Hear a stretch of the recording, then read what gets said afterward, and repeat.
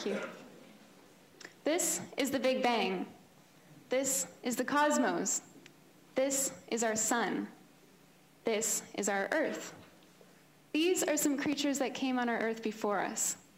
These are some creatures that live with us. This is us. This is our brain. And these are some things that our brains can create. Today, I'd like to talk to you about wonder.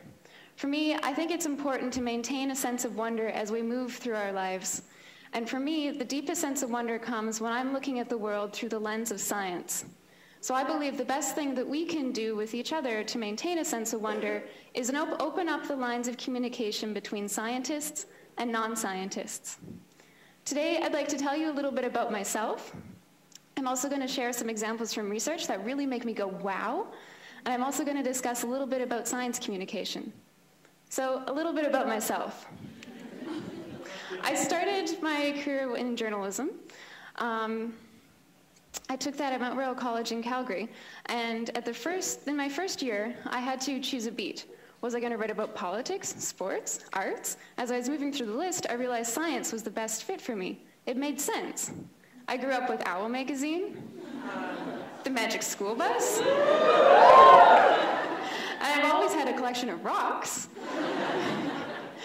So I finished, I finished school in Calgary, and then I moved out here to Vancouver at Vancouver, I'm here at UBC as a part-time student, and I'm upgrading my college degree to a university degree.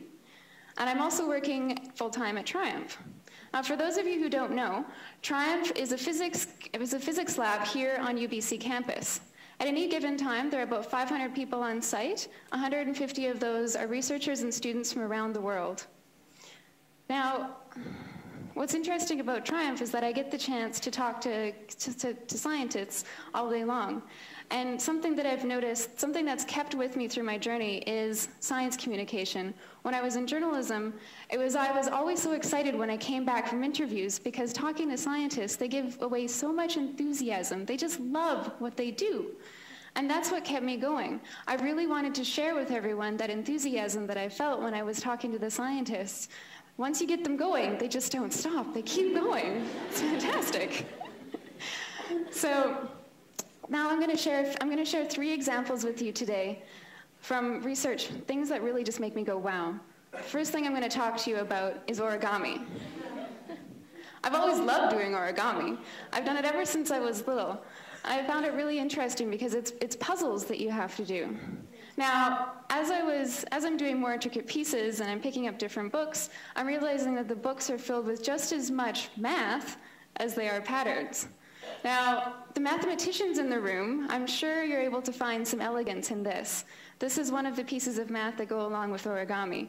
For the rest of us, we need a little bit of help.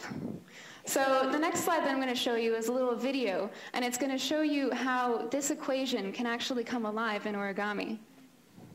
You take a piece of paper. I'm going to try this. There we go. We take a piece of paper and you make a mark in the middle at the bottom and you take the edges of the paper and you match it up with that mark on the bottom. And you create a series of straight lines, but when it's all done, there's a shape that emerges and it's a parabola.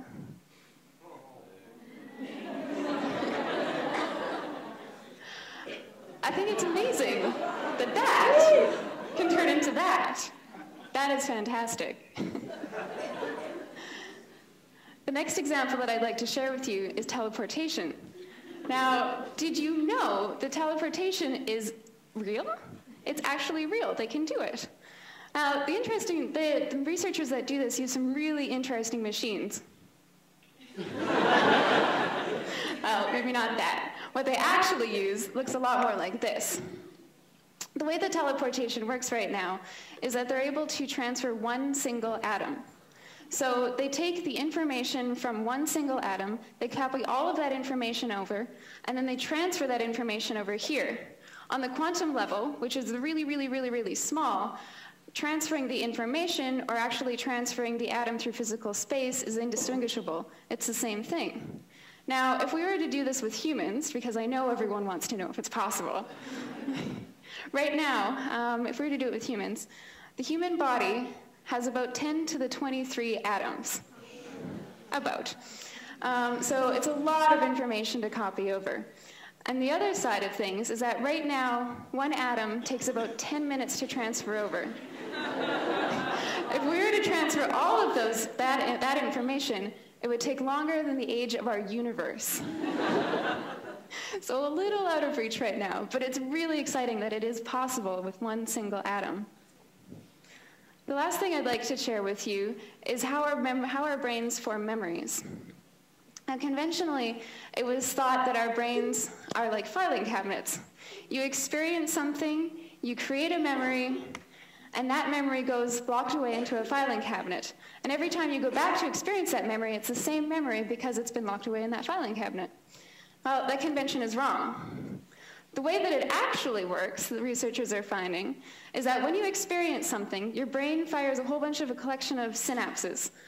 The next time that you go back and remember that experience, those same synapses fire. But just before your brain has collected itself into that memory, the brain is quite malleable. So what that means is that when you go back and experience that, there's the opportunity for the brain to change that memory just a little bit every time that you use it.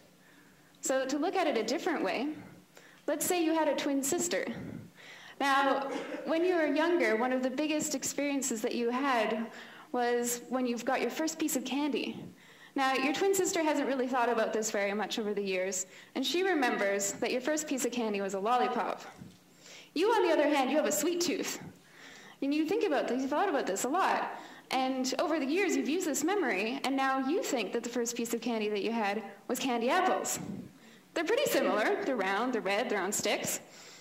But because you've had the opportunity to use that memory a number of times, it's actually changed quite a bit over the years. It's a lot different than what we thought initially. And I think it's really interesting that research is able to open that up to us that what we thought, how, how we thought it was working, is maybe not actually the case. Now, when I was researching these examples, for this example in particular, I was looking through some papers.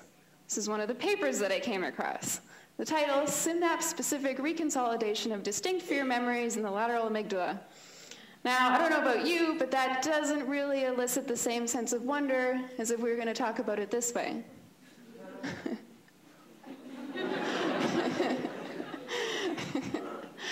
so it's really interesting because there's, you know, we can unlock the wonder in this.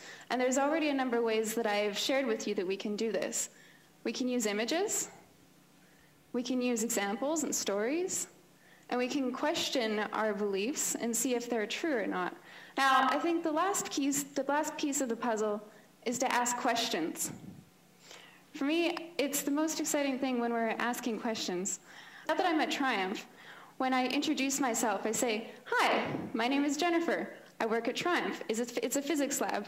And I leave it at that. I don't say I'm in communications. I don't say I don't have a science background. I just leave it at that. Most people will go, oh, that's nice.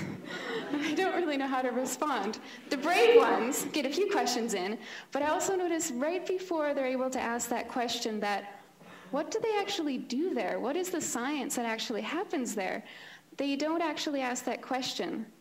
Now, I've been on that side of things, and I know that when I was first talking to researchers, this was something that I had to get over. It's the fact that, you know, I felt that I was going to be sounding really silly if I was going to ask those questions. I was thought that I would sound uneducated, unknowledgeable, if I didn't know what the research, researcher was talking about. But as the years have gone by and I've been talking to more researchers, I realize that they have to ask the silly questions just as much as we do. It's the nature of research. Fields get really, really specific. And even if you're not part of that field specifically, you're not going to be able to share those ideas well unless you're using tools like this, pictures, analogies, stories. So I think that's the part that we can share amongst ourselves. Now, the last thing that I'd like to share, do with you before I finish my talk today is I'd like to challenge you. Uh, it's a really, really simple challenge because I really believe that small actions can create change. So there's two steps that I'd like to do with you. First thing, now I need everyone in the audience to participate to make this work, but it's really simple. First off, I'd like all of the non-scientists in the room to raise your hand. Fantastic. Now, put your hands down. And I'd like the scientists and the non and the scientists in training to raise your hands. That's great. Okay.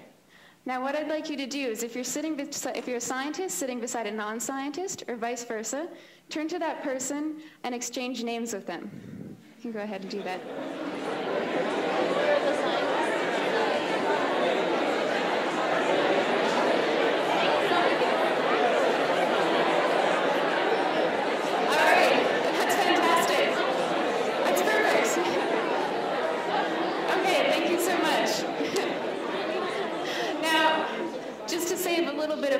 Later, take a moment remember the name of that person you just met.